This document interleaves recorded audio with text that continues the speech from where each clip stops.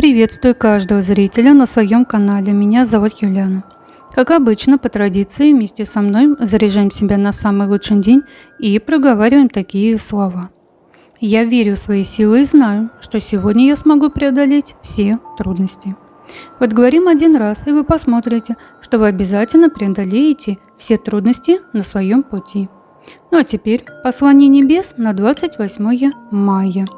Умиротворение. Когда мы долго погружены в хаос событий и неопределенность будущего, трудно поверить, что однажды на смену им придет ясность и умиротворение. Однако высшие силы хотят напомнить вам о существующей сезонности. И как и после морозной зимы приходит цветущая весна, как после самого сильного ливня выглядывает солнце, так и любая череда трудностей и слова. Я выбираю сегодня радость и благополучие своей жизни, и ничто не сможет мешать мне достижению моих целей. Вот говорим семь раз, и вы посмотрите, что вы добьетесь поставленных целей.